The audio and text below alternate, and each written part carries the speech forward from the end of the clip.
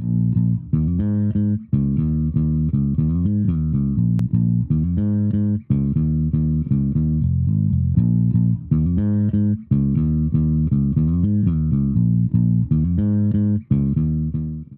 right. Well, good evening, everybody. Welcome to the uh, American Institute for Philosophical and Cultural Thought. My name is John Shook, and I'm the president. We have the other two directors of the Institute here with us, Randall Auxier and Larry Hickman. Welcome. Good to see you. Uh, the American Institute for Philosophical and Cultural Thought uh, fosters the study of philosophical and cultural thought in America, and uh, we collect this is an archive and a library. We provide access to these resources to all sorts of visiting researchers, both domestic from here in America and international around the world. Uh, we have approximately 25 to 30,000 books, we're not clear, uh, under this one roof, and uh, collections of papers as well. And uh, we can host workshops and seminars like this one tonight fairly frequently. Uh, this space is also available for various kinds of receptions and musical events and other sorts of events of interest to the community and the academic community nearby at the Southern Illinois University at Carbondale.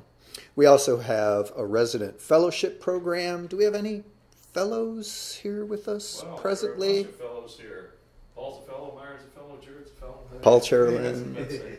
Myron Jackson is here with us, so good to see you folks. Uh, we believe that this institute has opened and is operating at a crucial time for humanities in America.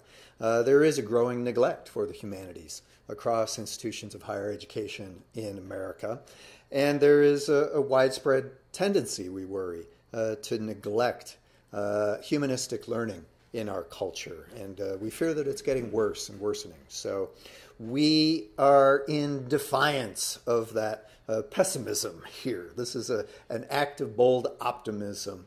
And uh, so we decided to create a home, uh, a community for humanistic thinking and learning, and we are devoted to conserving and conveying that treasure of, of inherited values and achievements on into the future.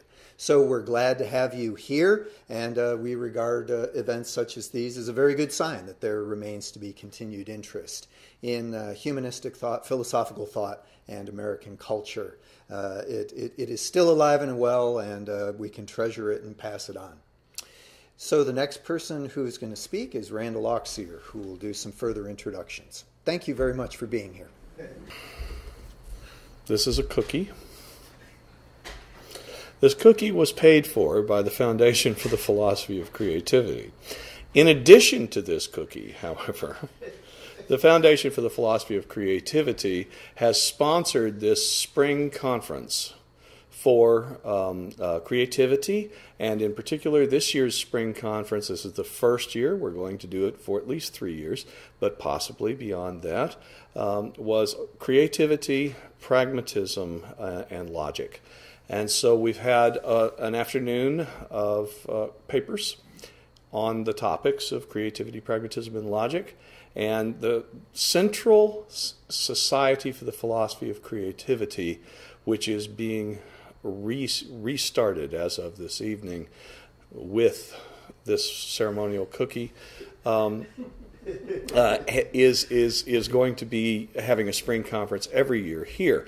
The Foundation for the Philosophy of Creativity has partnered with the AIPCT um, for lots of different programming, including a summer dissertation fellowship. The first one was this past year. We've got another one uh, coming up this summer. Uh, and that has been a very successful program.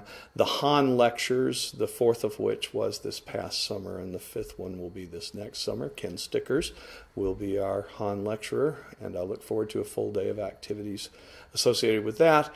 And on into the future, the Foundation for the Philosophy of Creativity intends to interact with AIPCT and to promote the study of creativity, especially the philosophical study of creativity. Foundation for the Philosophy of Creativity and its associated societies, Pacific Division, Eastern Division, this one, was started in 1957 by William S. Minor, who was a professor of communication studies at SIU, a rhetoric professor essentially, but the philosophy of communication was his specialty. And those societies have carried out important research and have facilitated important research now for 62 years. And so uh, we intend to continue that and we intend to continue it here. And so it's natural given that the, these foundation, the foundation and these societies were started at SIU Carbondale that they should continue to be based here and continue to do their programming here. Uh, okay, so welcome back. Our next speaker is John Shook. He is at the University of Buffalo and a co-founder of this institute author of uh, numerous books, articles on pragmatism, naturalism, logic, what have you, more than can be recounted here. And the talk, if I've got this right, is Abduction and the Logic of Scientific Creativity. So, John, thank you. Thank you. So there's a handout, and for folks viewing on the YouTube channel, how y'all doing? the, what's on the handout is going to appear on the slides in, in sequence as we go. So on the handout, we're starting with what looks like this on this side, and uh, corresponds to the first slide up above. So let me say that I've been working on abduction and scientific realism. the occasion of this conference on creativity led me to think about uh, where scientific creativity uh, is exhibited in the logic of abduction. And I've had some help from good friends lately who've gotten me thinking about things like community and uh, communities of interpretation. So there's some of that uh, uh, talk in here that I think uh, uh, really helps it out. Scientific creativity is not mere novelty. The history of science does not amount to just a sequence of novel but loosely related ideas. Hypotheses do arise over time, but a scientific field enlarges with discoveries based on discoveries. To be scientific, worthy discoveries are justifiably accepted. The culmination of scientific creativity cannot stop short of appreciation and adoption into the growing body of scientific knowledge. Creative speculations can arise easily. But creating knowledge is difficult, and rightly so. How is knowledge of the world created?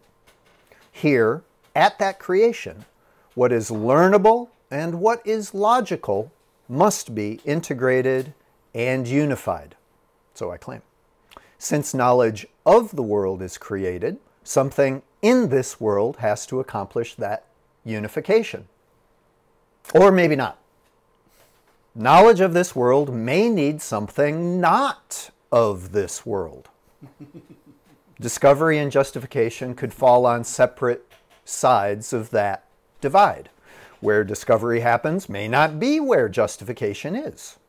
This means that learning and logic are kept apart. Creativity could be torn apart.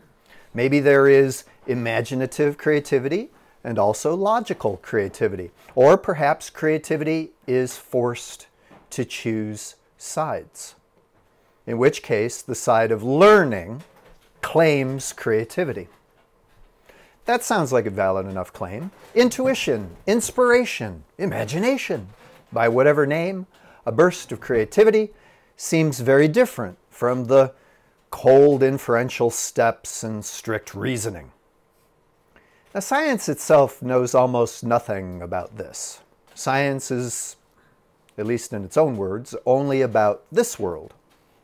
Where in the world is reasoning? Now, psychology would offer a reductionist solution.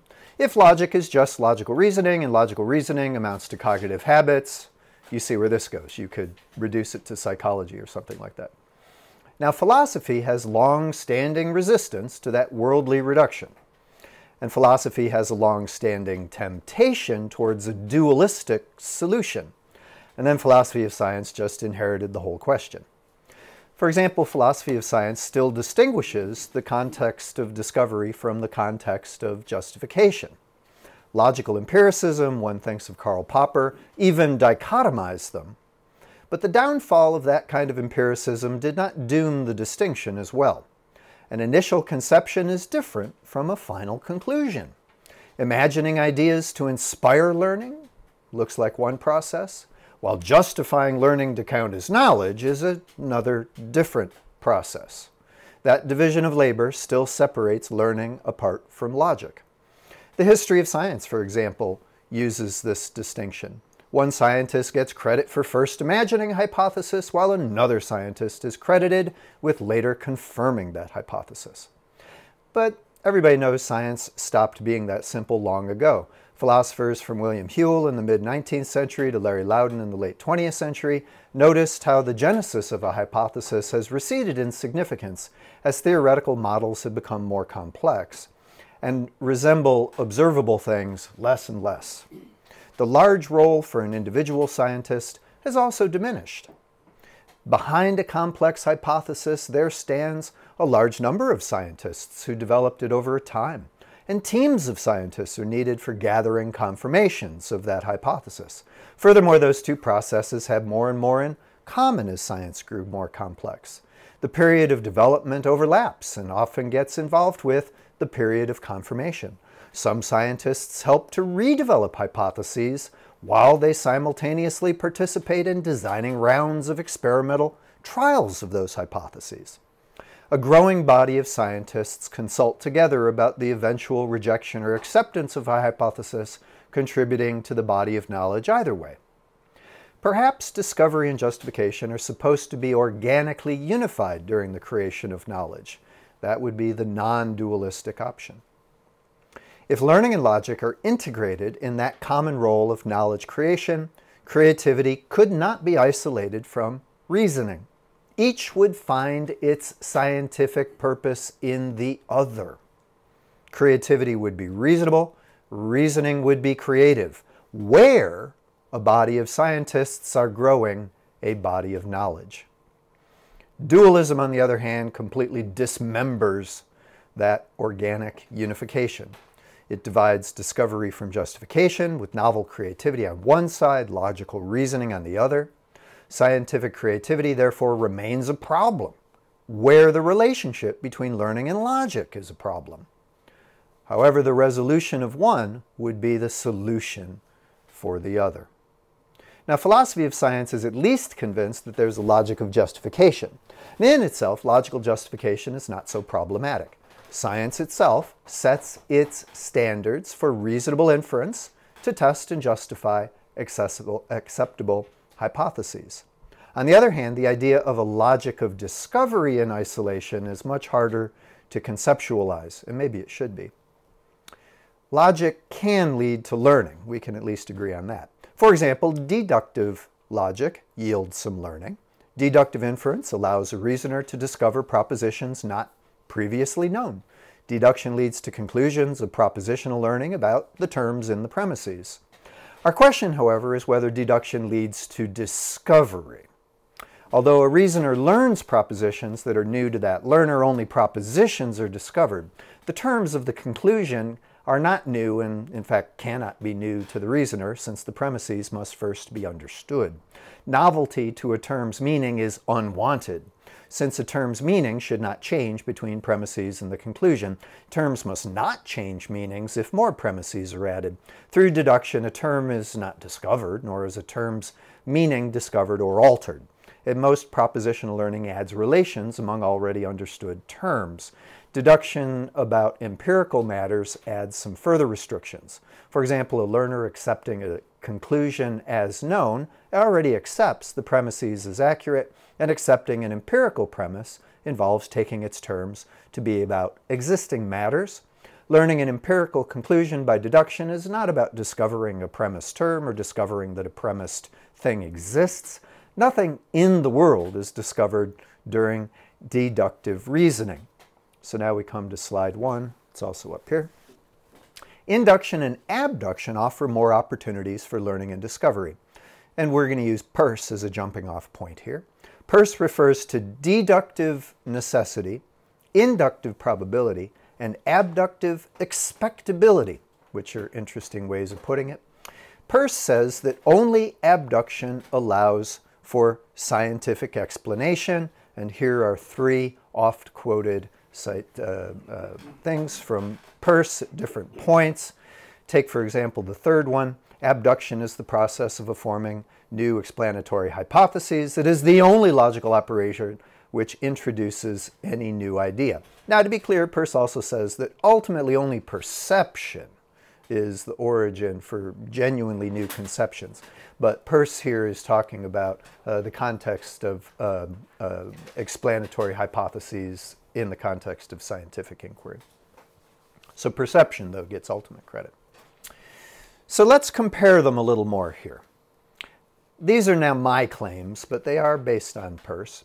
Deduction does not seek more premises. You can add them, but deduction itself is a logical operation that's content with whatever premises are already given. Deduction cannot change the meaning of terms during reasoning, and deduction cannot discover the existence of anything. By contrast, induction can seek more premises, and in fact it should. That's the point of further exploration, to add to the validity of uh, uh, confirming an induction. Uh, uh, inductive conclusion. Repetitive induction can change the meaning of terms during reasoning. I'll give some examples. But induction notoriously, cannot discover the existence of anything either. That credit goes to abduction. Abduction should seek out more premises. We're going to give some examples. Abduction would, and I would claim should, change the meanings of terms during the process of abductive reasoning. And abduction, according to Peirce at least, and we'll see, can discover real things. Furthermore, what I'm going to be calling iterative abduction, Peirce invented it, and we're going to explore it, can raise the level of reasonable confidence in those things. In other words, the point of abduction is to actually kind of think that the hypothesized entities are real, not just hypothetically. So let's take a look more closely at three examples. Deduction is atemporal. The premises are held together in the mind at the same time. Fruits from that tree are red. These fruits are from that tree, therefore these fruits are red. It's a necessary conclusion granting the premises. Induction can be put in an atemporal fashion as well. These fruits are from that tree. These fruits are red, therefore fruits of that tree are probably red. And there's a temporal version to induction that uh, is psychologically a little bit more compelling than just its atemporal version. These small fruits are from that tree. Oh, let's look at these fruits more closely. Those three fruits are also red. That's interesting. So let's look at these four. Now let's get four more. So now we have a total of seven. These small red fruits are from that tree too. And these fruits are also sweet. Okay. These five, let's get five more. These small red sweet fruits are from that tree too. Hey, and they're also soft. You see where this is going. So we're by this uh, uh, temporal process of induction gathering more and more evidence, um, we're uh, making it more and more plausible that they've really got to come from that tree. What are the odds that they're going to be from you know some very different tree?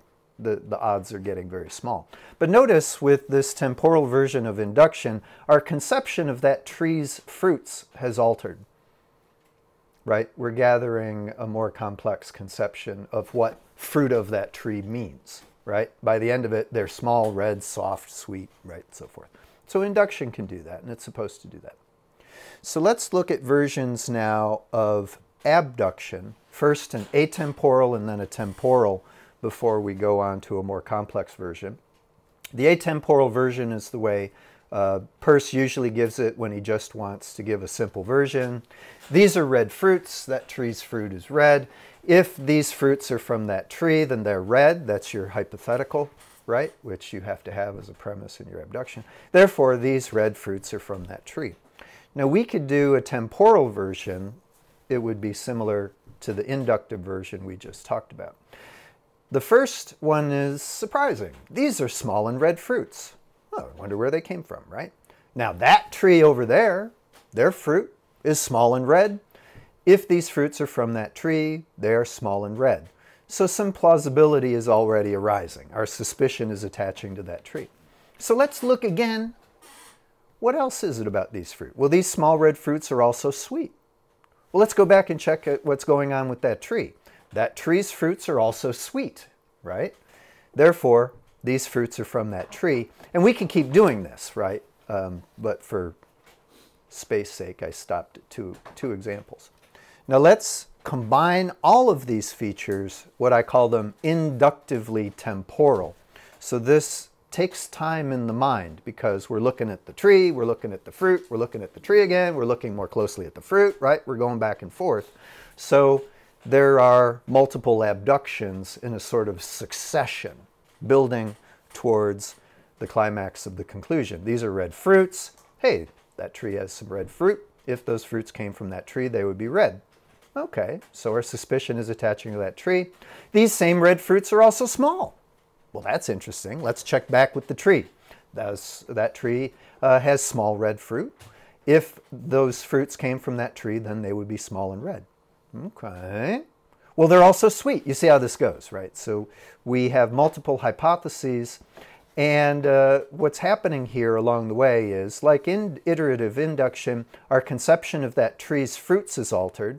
Furthermore, our hypothesis is getting more and more complex, right? And uh, the actual origin of these fruits is now, to use Peirce's term, expected. In other words, our expectation level keeps rising with each successful iteration. It's looking more and more likely that the fruits really did have their origin in that tree. That's, that's what those trees' fruits look like. Okay. Now, the reasoning that's happening here in inductive abduction, and Peirce uses that phrase actually, inductive abduction, but he doesn't get into any more complex forms the way I do, occurs over time in iterated stages. Now notice I've mentioned inductive abduction, but deduction is not left out either. At each stage of inductive abduction, the hypothesis is a little miniature deduction. That's the if then, right? If those fruits came from that tree, then they would be small and red. So really we have all three forms of inference here compressed into this uh, temporal iterative abduction. Gathering more empirical evidence modifies the conception of the conclusion's object. Where did the fruit come from, right? And it develops the hypothesis along the way. Now, I have a general term for this. It's called procedural abduction. The dynamic relationship between the growing evidence and the developing hypothesis is, I claim, and I believe Peirce believed this as well, is the basis for the realism that arises from a successful procedural abduction. It simply becomes more and more credible that the hypothesized object exists. In this case, the origin of the fruit from that tree. This is a discovery from a reasoning procedure. Now, as interesting as this is, let's get back to our original question. Can anyone tell where the logic and the learning are artificially divided and kept apart? And that's supposed to be a rhetorical question. You're supposed to have a very hard time doing this, which is, I think, an excellent clue to the resolution of the main puzzle we're interested in here. Peirce himself expected that the three kinds of inference should cooperate in learning. His 1903 Harvard Lectures on Pragmatism says, abduction merely suggests that something may be, its only justification is that from its suggestion, Deduction can draw a prediction, which then can be tested by induction. And from that, if we are ever to learn anything or understand any phenomenon at all, it must be by abduction that this is to be brought about. He expected the three modes of inference to work together, so I took that as a clue. He occasionally refers to these as mixed inferences, and I have another long quote that I'm going to spare you from his Carnegie application uh, for his logic research of 1902. He goes into this some more. So let's move on. Now, Peirce didn't explore further combinations of mixed inferences. Um, in a published uh, paper, of which I have copies here, there are many possible combinations of deduction, induction, and abduction. Um, there are at least 25 combinations worth investigating, from the pseudoscientific to the proto-scientific to the fully scientific. I will spare you all of that, but that is in a, a published paper. Would somebody, uh, what's the exact title of the big paper? Remind me again. Abduction, it's complex inferences, and emergent heuristics of scientific inquiry. Okay, I hope the I hope the microphone picked that up. But Um, maybe at the end I'll repeat it. So let's move on. I'm only going to give a few combinations. All right. One, uh, the first one is uh, abducibly deductive induction, or what I call retrodicted induction. Uh, what are Q's? Q's are now patterns of phenomena. It's like discovering red cherries. And then R's would be, oh, red and sweet cherries or something like this. So the, the, the Q's, R, and S's are the, are the phenomenon we want to explain. A, again, using Peirce's notation, is the hypothesized object. So Q's show up. Now, supposing that if A, uh, then Q's, but we sort of leave A just vague, uh, which is convenient because when R's show up next, we say, oh, well, well uh, A would have predicted R's. So this is sounding good, right? And then S's show up. If you have a sufficiently vague conception of A, you can, right, pull out of that hat uh, you know, explanations for, you're, you're sort of retrodicting. It's very convenient. It's not a fully scientific uh, procedure. It's, it's a little pseudoscientific. In fact, several pseudosciences rely on exactly this. They keep the conception of A so vague that, you know, it can explain anything if you're, if you're uh, now it, it looks uh, superficially like abductive uh, procedure but it's actually inductive uh, logically that's part of the problem uh, A's definition is left vague or even designed in advance to explain lots of other things. So, uh, so, but nevertheless, it is one of the many possible combinations of induction, deduction, and abduction. So let's move on to a more complicated um, one, what I call predicted abduction. Technically, it's deduced inductive abduction. Uh, so we get a series of uh, abductions. If A's, then Q's, but we're still dealing with a vague conception of A. But nevertheless, uh, that pattern of Q's does gets discovered. So this is not retrodiction, this is prediction, which of course is cognitively more persuasive. We actually managed to predict something, and, uh, and successfully so, without knowing that it already existed. And we can sort of keep doing this and there is a kind of realism that will cognitively emerge. Unfortunately, um, it's not fully scientific because, of course, there are many other possible explanations for the same phenomena. A would have competition. Here's an example.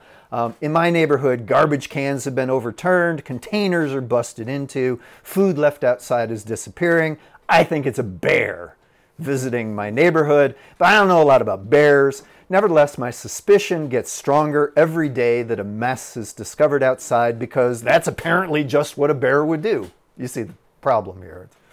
It's, it's, it's not fully convincing, but cognitively it, has, it, it can make an impression.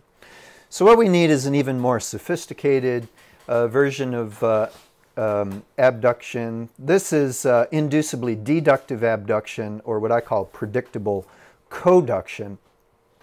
Um, but now we don't want to let A be so vague. It was the vagueness of A that was causing a lot of the, the, the suspicion, you know, that it's got a lot of competition and it's too easy to pull out of the hat even good predictions. So we're gonna we're gonna only adjust A when absolutely necessary. If A, then Q's have feature F1, they have uh, that feature F1. If A, then R's have analogous features F2, but we've only adjusted A a little bit. And it turns out the Q's have both F2 and F1, and uh, that seems persuasive. So um, let me give you an example. Actually, I'm going to use uh, Harvey's uh, example of the heart, which you, but it's actually a good one, um, uh, from physiology. So for example, the heart long ago was connected to the flow of red blood. If the heart, by definition, rhythmically puts red blood out through the arteries for consumption by the body, then further events would be observed. In fact, the ancient Greek physician Galen noticed pulsing red blood from cut arteries, hearts pumping, pumping blood through its chambers uh, during vivisection, and so forth. However, Galen's narrow definition for the heart let centuries of subsequent physicians have to ponder how heart makes red blood, why heart valves restrict blood flow direction, where blue blood comes from, why some arteries are conveying blue blood, many more mysteries. But then Harvey comes along. He changed the definition of the heart just enough to be able to predict certain phenomena that then he was able to discover. Um, the heart doesn't make blood. Blood isn't consumed, but only transformed as it circulates through the body, out through the arteries, back through the veins, and so forth. So this was now we're uh, we're just on the right. This is proto-scientific, um, and it was a very helpful modification to uh, conceiving of the heart just enough so as to explain then phenomena that were able to be observable. However, uh, we're still short of fully scientific method because unless strict controls are placed upon modifying A conceptually along the way, A still has vast explanatory fertility in a way that it doesn't deserve. It could even become explanatorily vacuous. At its worst, A still only explains things as they get discovered. But nevertheless, we're, we're pretty close to something that is fully scientific, and I claim that this is the border what I call strict abduction. It's called deducibly abductive abduction or strict abduction. Um, Q's show up, so we say if A has certain uh, capacities or um, uh, uh, features, in other words, C1 is our conception of A, then Q. So, you know, but then we're saying, now suppose if A also has features C1 or C2, then in consequence, we would expect both Q's and R's, and R's show up. Now, uh, this is what Peirce really wanted from abduction. Remember his pragmatic maxim our conception of the object is our conception of the consequences. And that's what's going on here in the, in, at these stages. And so we only gradually modify our conception of A in order to make responsible uh, predictions. And if those predictions turn out true, uh, then we become more and more convinced that this is what's going on. Uh, the example here would be the theory of comets, uh, which fits this strict abduction. During the late 1500s, astronomer Tycho Brahe's observations suggested that comets are celestial, not just atmospheric uh, during, uh, due to their observed trajectories. If they're celestial, they would be distant from the Earth. Brahe's parallax measurements indicated indeed their immense uh, distance from the Earth and hence their vast size. By 1604, Johannes Kepler added that the sun's rays cause a comet's head to expel a stream of nebular material shining by the sun's light. His idea fit well with the uh, previously overlooked way that a comet's tail always points away from the sun. Um, this celestial, naturalistic, and causal explanation for comets hasn't essentially changed uh, since, but only supplemented. For example, if comets journey between the planets, their paths must also be affected by the sun. By the late 1600s, Isaac Newton had determined that a comet approaches the sun, swings around behind it, departs away from the sun, uh, explains why it takes a, a, parabolic path due to gravity and so forth.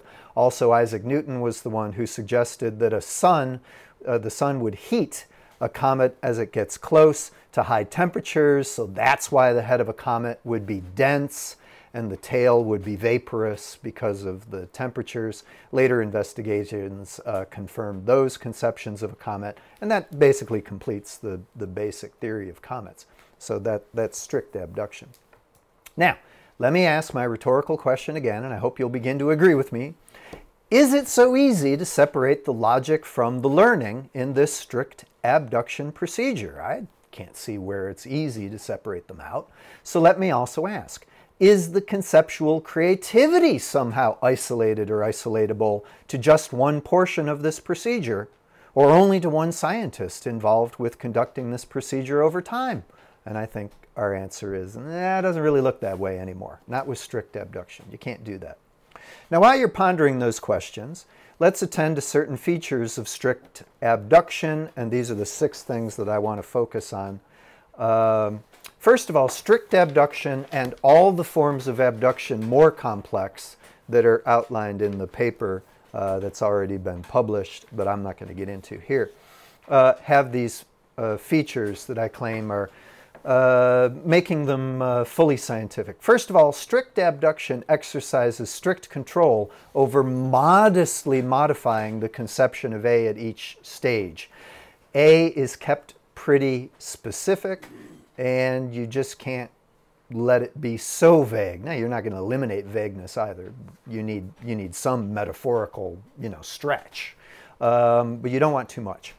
Uh, at each stage, the conception of A has only one clear definition for the purposes of drawing hypothetical inferences and deductions and set of capacities uh, to uh, uh you know, produce certain consequences in the observable uh, realm. Only the capacities required to account for the phenomena are, are attributed to A. And whatever the definition of A may be, that definition is only permitted to be compatible with those C's applied in the procedure. Second, no other conceptions of A beyond those C's proposed to account for your Q's, R's, and S's and so forth are regarded as relevant scientifically. They may remain suggestive, you don't get rid of them, but you don't regard them as relevant to science. Strict abduction does not permit the definition of A to range beyond whatever is minimally necessary for it to have its explanatory capacities. That strict control allows successful predictions to more impressively support the hypothesis. They just seem more credible. Four additional features.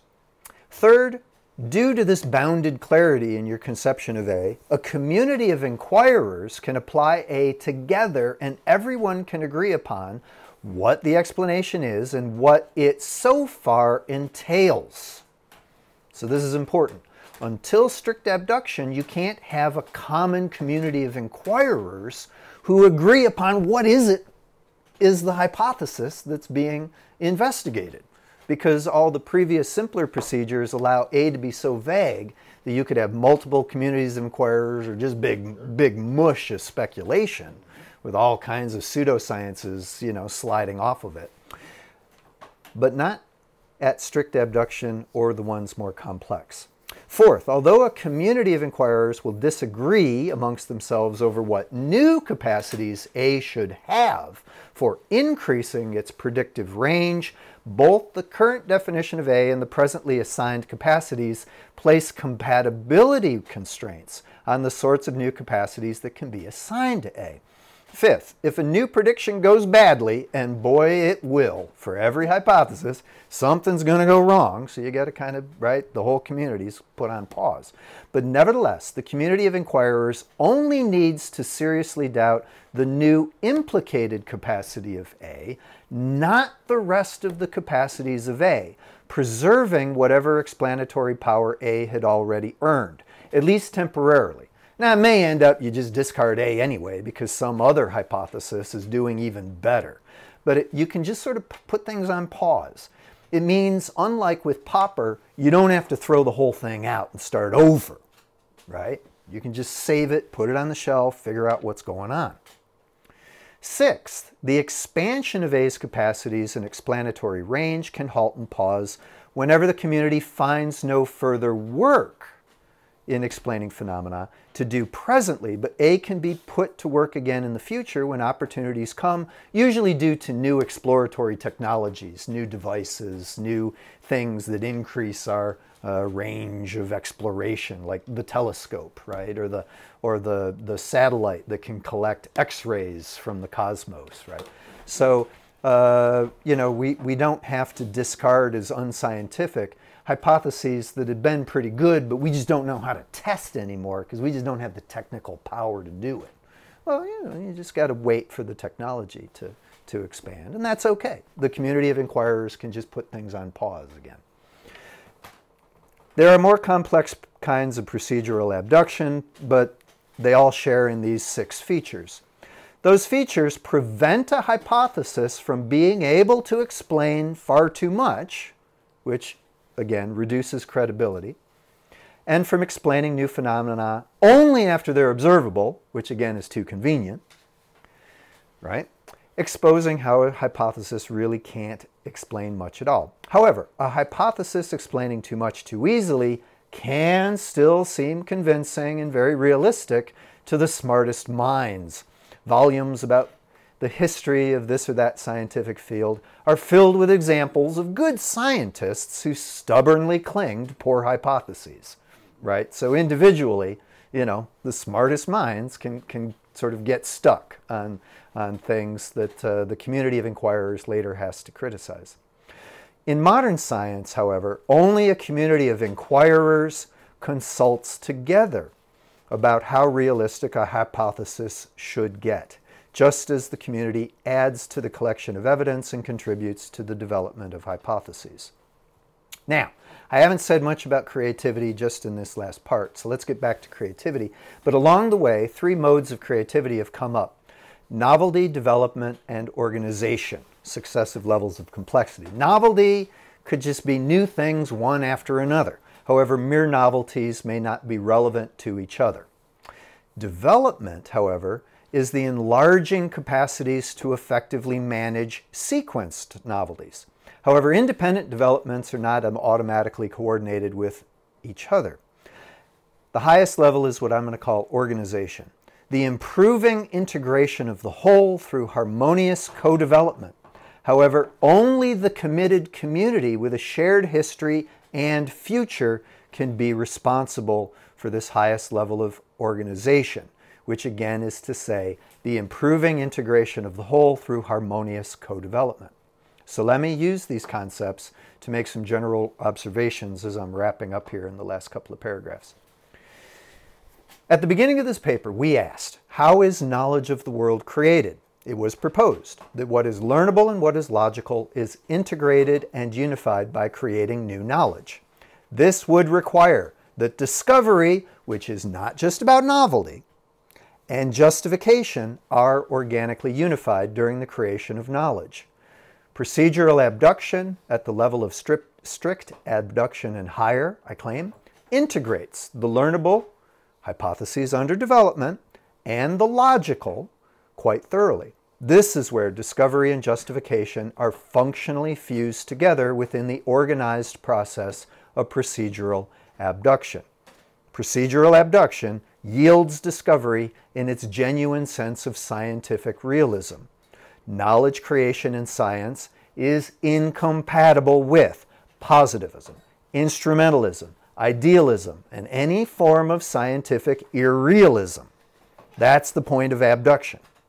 These non-realisms that I just mentioned perpetuate the dualisms that block the way to comprehending scientific method and justification.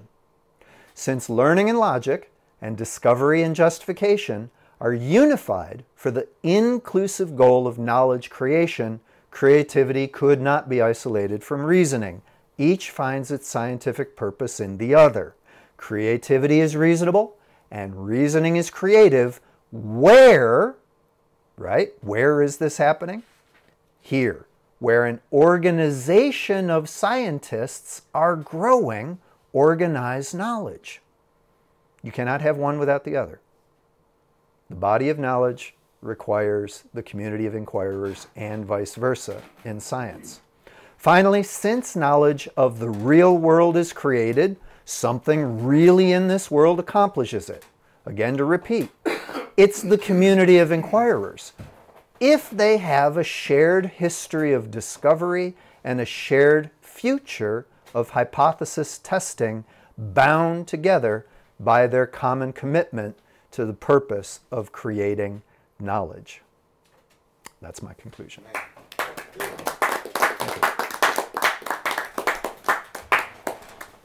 All right. Thank you, John. First of all, great talk. Uh, yeah, it's good, right? Yeah. I know. Uh, abduction for me is one of Peirce's um, most rich and interesting concepts, and I loved your uh, systematic analysis of various different kinds uh, the relationship between deduction, abduction, induction. Great. Um, so I wanted to clarify one or two small things and then ask my question. So first of all, uh, because it wasn't quite clear to me uh, on the basis of the paper, do you think that all human creativity is abductive in structure? I have no idea. No idea.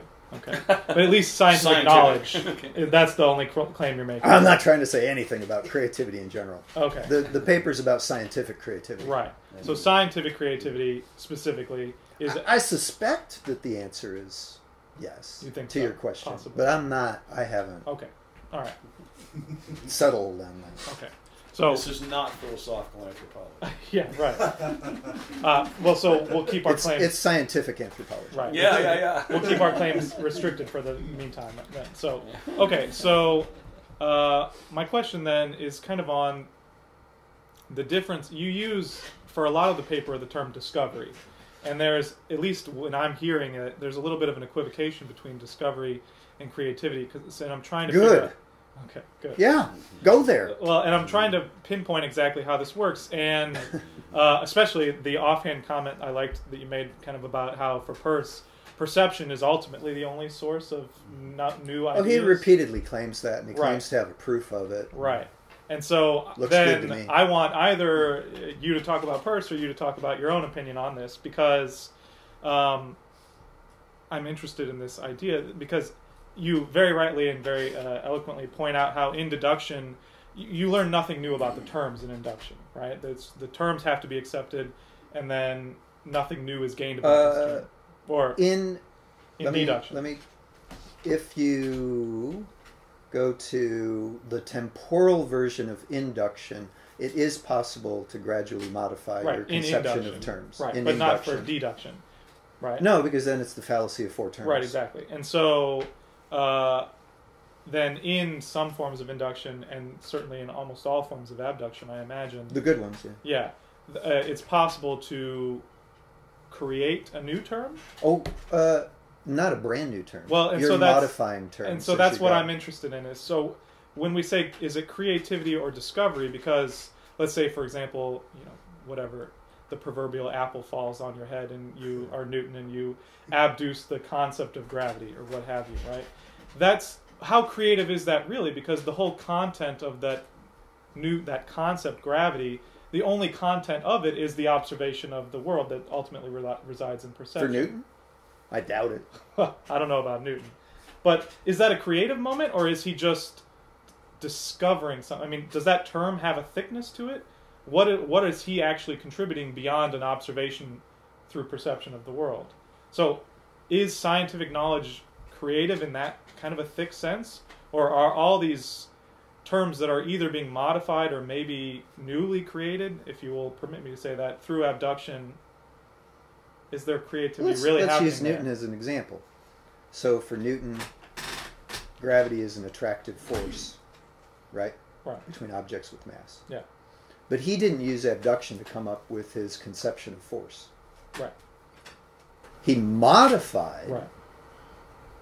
Prior notion of force that he already had because, you know, he was of that century of science that had a conception of force. Now, where any conception of force comes ultimately, Peirce would say it comes from lived perceptual Right. experience. No abduction spontaneously created from nothing a concept of force. Right. And he's got a proof for this, and it's convincing. And so, Right? So ultimately, you credit perception. But mere novelty is not the only form of creativity. Mm. There's development and right organization. So there's certainly a great deal of creativity involved with modifying prior held conceptions of whatever origin, right? And that's what science does. Science is not responsible for creating all original ideas of everything whatsoever, and good thing. Nothing could do that. so perception gets the ultimate credit. But in science, creativity has to have a large measure of credit for two major things. Number one, modifying key terms as you go, and modifying the conception of the object in the hypothesis. And as you can see uh, with abduction, you, with the more complicated, you're doing that together, Sure. and that's the co-creativity that uh, I think procedural abduction takes advantage of, and that's what Peirce wanted. right. So a Yeah. term can be modified, but abduction's never going to create a term ex nihilo or something like that. Only Okay. perception could do Yeah. that. Okay. Uh, somebody has to go there. One of the things I like about uh, about your schema here although I don't think it even begins to cover what Peirce thinks about the growth of scientific knowledge. But Oh, I'd a, agree with It's a piece of it. Uh, one of the things I like about it is the way that archaeologists, beginning in about the 1950s, started leaving much of a site unexcavated Hmm. under the assumption that future scientists would have better uh, better methods, uh, better tools, um, uh, and and a broader perspective. In other words, more pieces are likely to come together.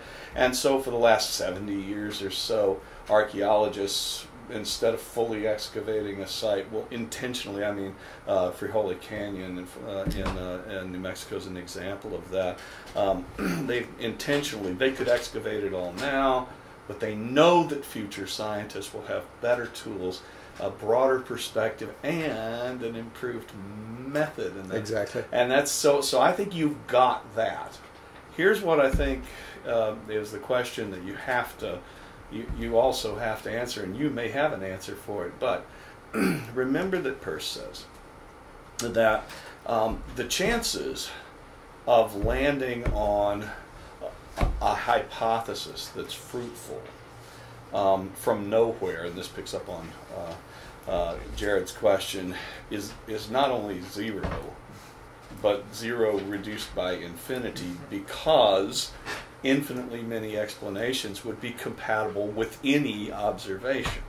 And so, uh, and so, and the chances of getting a second one that builds on the first one, it's zero reduced by infinity, reduced by infinity, um, uh, and, and and yet there is scientific knowledge. Uh, and so the realism is in trouble here, as he knows, because he has to come up with some theory of mind that's embedded in and, and, and crazily likely to land on the right hypothesis. I mean, that's just crazily likely. Uh, and of course, he struggles with this. But the growth of scientific knowledge also depends. It's not just, I mean, the abduction has a ground somewhere. And when you said, and I laughed and I nodded, it, it could be out of this world. Uh, in, this, in the sense that uh, he doesn't profess to know, but, it, but he can say, well, there's, there's mind with a great big M, uh, capital M. There is mind.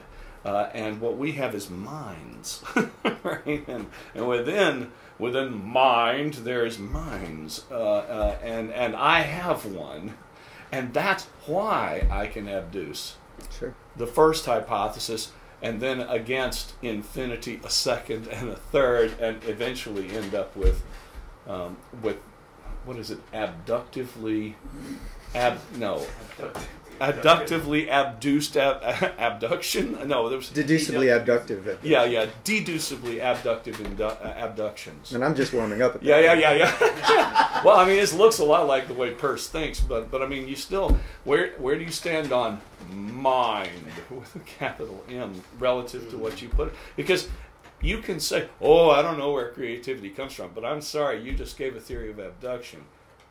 You have to answer this question. Okay, so Like let me give some leading indicators, and I'm going to draw a little bit on Dewey as well, but it's probably in Peirce too. Mm-hmm. Keep in mind, I'm just at this point trying to link up scientific creativity with the realistic credibility that gradually grows. Right? This is scientific realism. It's not philosophical realism, it's mm-hmm. scientific realism. Mm-hmm. And it suffers from all of our cognitive biases and defects, but that's why being an inter- a co-interpreter within a community of inquirers is so much fun. Mm-hmm.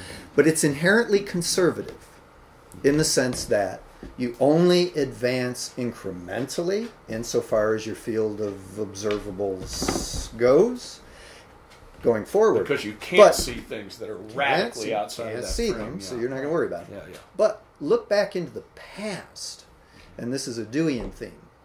Science didn't just emerge full blown from Athena's head or, you know, Thales or something, right? Mm-hmm. It's continuous with our ordinary capacities to do ordinary sort of forensic inquiries into berries and fruits and birds and the skies and right now that's more fallible even than science is but it's not stupid In other words, if the origins of our basic conceptions of patterns, causality, and these sorts of things obviously work pretty good for middle sized creatures like us in the middle sized environment that we've got to deal with, then as we gradually refine our procedures of scientific inquiry, they're not so radically different with what has already worked pretty well. So there's a lot of continuity. The price you pay for that continuity is, of course, nature in fine grain, in ultimate laws, whatever those are, could be radically different from what we. And that may be. But notice, even something like non classical physics, right? Quantum mechanics, for example, there's still continuities. Mm-hmm. There's still continuities between the classical and the quantum world. It's just false to say that they're two radically different uh, uh, pictures of the world. They aren't that radically different. Furthermore, our scientific instruments easily glide. There's no chasm there in the phenomenon. So, at any rate, um, it's it, it's that conservatism again that I think actually helps the natural realistic attitude that we have. Could ultimately all of our big theories be wrong? Well, sure, but that's not a philosophical reason to jump to irrealism because the only reason why we learn that hypothesis A isn't so great is because we have greater realistic commitment to hypothesis B. That's an optimistic philosophical induction, not a pessimistic induction. The body of knowledge is growing. Is any individual hypothesis fallible? Any big paradigm replaceable? Of course. But not because of a loss of confidence in scientific realism, because of a growing confidence in scientific realism. So you have to have the best of both worlds. The community of inquirers has to be both cautiously pessimistic but cautiously optimistic, and that's just the deal with human knowledge in general. And you're just, you know, uh, holding it to higher standards than that, I think, is is is foolishness. Uh, you don't need Platonism or dualism, I think, to explain that sort of cautious, conservative optimism of what communities of inquirers really do when they try to, uh, you know, um, uh, use the best of our cognitive abilities while not letting our cognitive biases overwhelm us. Thank you. That's a good answer. Oh, cool. Uh, I saw all three hands at once, so we'll go in a line. All right. Uh, John, what about Uber I asked because you seem to be committed to security and do a great job of explaining that element in scientific creativity.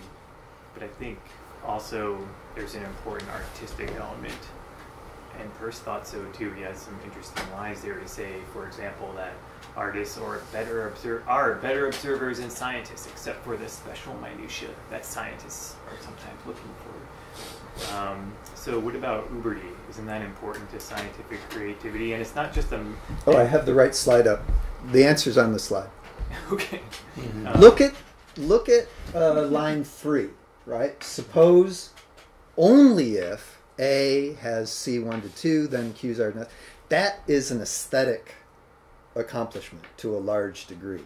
I mean, it's the modification of a situation given your logical tools and the phenomena you're trying to anticipate, right? So there, there's a, a, a, a fresh wholeness that you're you're uh, so projecting, you're imagining. There's there's a, a, a form of aesthetic imagination there, I think.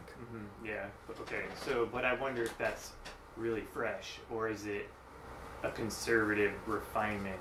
So, the, and I and I bring this up. I mean, what do you need? Say, what do you need? Uh, what do you need? what what work is the word fresh doing? Well, Where, well, what do you what what does that mean? Example. So so I so Newton is talking. We've been talking about gravity. So Newton talks about gravity as, as attraction at a distance, and and then Einstein says gravity is the curvature of space time. It's sure. like, whoa, what is that? Where did that come from? That's not just like let's add two to see one. You know, that's that's a, that's rich suggestiveness being introduced in an ubericious moment. Yeah, not really. Ubericious. no, it isn't. It isn't it that isn't. fresh. No, Einstein just came from different theoretical grounds largely than from what Newton did. You just Newt, you know you just can't graft Einstein directly from Newton. There's so much more that Einstein is trying to deal with, explain, and assume. Right? Newton didn't have to deal with Hertz or electromagnetic radiation or anything like that. So, uh, right. So keep in mind that a community of inquirers across decades and especially centuries is dealing with multiple trunks of trees competing with each other, right? And, and now you're in the realm of uh, uh, looking at different paradigms. Um, so uh, I think there's plenty of continuities with where Einstein was coming from. It wasn't that radical. In fact, in fact, I think in many ways it was more conservative than what Newton was doing, given the the background of late 19th century science that, sci- that uh, Einstein was trying to explain. We're already over, so but we have some time. So is it okay? Yeah, yeah. I was about to say uh, there's there's a little bit of time, so let's Yeah. go on and finish the the two more right. questions. Okay. So Oh, well, actually, I had two questions, but, and first one here is, is, is uh, mostly clarificatory.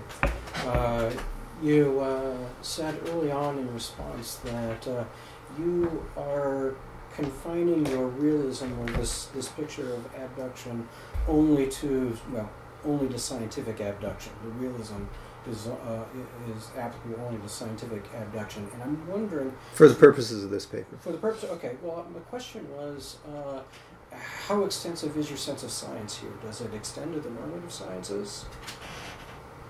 Give me an example of a normative science. Logic. Yeah. Yeah, let's say.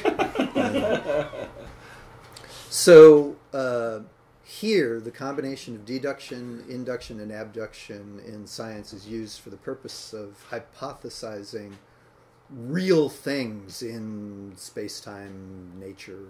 so this is the Right. logic of the science. This isn't. This isn't mm. going to get you to Platonism or you know any anything else. This, you know, these are entities that are doing stuff to you. This is the realm of existence, not reality. Mm-hmm. If that helps. Hmm. Now, could this be applicable in ethics? I think this works for social facts as well as, as well as natural facts. But that's another body of work that I'm working on. But this will work for social facts. I mean, not just social psychology and the behavioral sciences. I mean, it'll work for ethics. And I, I think Dewey believed it. This is, for example, this is a crude way of thinking about dramatic rehearsal in the realm of interpersonal events. I would say dramatic rehearsal is a crude example of thinking like this. The, Point taken. The, the other uh, question, more in the way of a suggestion, uh, is one respect in which you might enrich this picture so as to perhaps uh, encompass more of scientific reasoning, is also not only to consider just the consequences of A, but also adding on the consequences of not A. Uh, and, and that's where you get, for instance, Well, yeah, with this this stuff, you don't get the the competition aspect of it. I actually think I think not A is in there. is though. in the only. Yeah, it's in the only was- if. Was- well, That's it. Yeah. it- it- it's. That, and by the way, that only if is a rhetorical trick. In addition to, to containing a negation, uh, it, it, it invites uninformed people to think of A as the antecedent. Uh, uh, I mean, not not you, Dave, but people. I mean, it feels like an antecedent, even though we all know it's a consequent, right? Uh, and so there's a rhetorical, and actually, I approve of the rhetorical trick. Uh, the reason being that it's easier to think it Yeah, yeah. the way you put it up there than than it would be if you had gone. Suppose if a then uh, I mean if C one then A, because then it looks like you're building the antecedent, which you are, and C means conditions or something like it. But then what happens is you're off into you're off into the world of uh, of um, um, uh, of bad formal logic. Yeah, yeah. and so uh, yeah. Myron? Uh, yes, I really enjoyed the talk. Uh, I thought the strongest part of the talk related to this is a creativity conference. Creativity actually happens, I believe, through community, especially community of inquiries. That's so I believe my that, conclusion. Yeah. Right, and so I believe that um, so many of us have been lied to, and these aren't Plato's noble lies; they're more like ignoble lies because we've been fed that science comes through this kind of cult of genius. I mean, come on, there's really no uh, Harvey without Robert Hooke. There's really no Newton without Leibniz, and Newton was so broke that Edmond Halley had to publish his Principia. Uh, I mean, the creative uh, community uh, sense has been lost in a lot of ways because of this emphasis on genius, uh, because of this emphasis on uh, the cult of the individual, almost a kind of scientific uh, heroism in the sense of Thomas Carlyle. So, if you could just emphasize here, is Peirce really getting at a kind of divi- creative individuality? Because that's how I'm seeing what I'm seeing in your schema is how creativity is not only cut in many ways, but so is science. No, I agree. Yeah, I think that's exactly where Peirce Scientists was are, going are, with that. are individuals. Yes. They're not individuals. They're individuals. No scientist accomplishes anything by his or herself. Yeah, and I just You know, isolate there's a no- scientist You reference and Galen, the you Greek get a lot of physician. There's dumb- no Galen without his gladiators, without Oh, sure. Hippocrates. There's just so many fa- factors and forces. There's no Einstein without Max Planck. Uh, you can go on and on. It's community effort. It's uh, science as team training. it's kind of what I got out of your talk in so many ways. So. There's no Peirce without Chauncey Wright. Yes, yes. All right, so we're going to take a, we're going to take a break here. I'm going to order pizza. So before everybody, uh, before oh, let's thank John. Yeah. yeah.